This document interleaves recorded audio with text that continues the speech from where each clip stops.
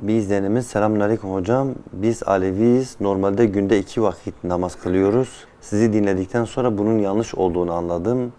Şimdi beş vakit namaz kılmak istiyorum fakat eşim Alevi olduğu için buna müsaade etmiyor. Bu durumda benim ne yapmam gerekir? Evde Kur'an okumamıza da müsaade etmiyor demiş efendim. Evet. Bu durumda kardeşimizin nasıl yapması gerekir? Eğer beş vakit kılma imkanı yoksa, buna müsaade edilmediği için, bu durumda en az üç vakit kılması gerekir. Yani sabah namazını kılması gerekir. Öğleyle ikindiyi cem etmesi gerekir. Akşamla yatsıyı cem etmesi gerekir. İnşallah böyle yaptığında eşi tarafından bir sorun olmaz.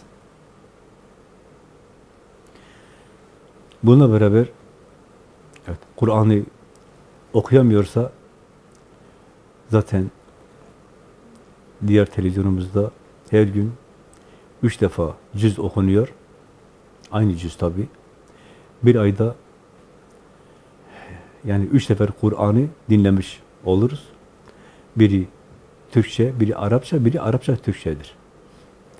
Özellikle Arapça Türkçeyi tavsiye ediyoruz. Buna beraber bir de Türkçe olanı, sonra Arapça olanı. Mutlaka Allah bu imkanı bu şekilde vermiştir. Biz de saatleri de farklı farklı olduğu için bunu değerlendirmeye çalışalım inşallah. Yani bir ay dinlediğimizde saatinde zaten hep aynı saattedir. Bir ay sonra Kur'an'ı baştan sona dinlemiş oluruz, okumuş oluruz, hatmetmiş oluruz. İster Türkçesi olsun, ister Arapçası, Türkçesi olsun, ister sadece Arapçası olsun. İnşallah onu da öyle yapmaya çalışacağız.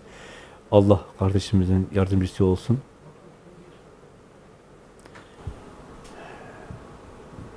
Yürümeye devam edelim. Allah gerekeni yapar. Gönlümüz o açıdan da rahat olsun.